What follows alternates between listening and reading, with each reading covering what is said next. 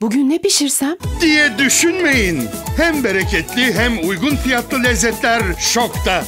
Günün lezzeti sebze güveç için şokta hem patatesin hem de sivri biberin kilosu sadece 1 lira 99 kuruş. Tencerenizi kaynatmak için Yeter de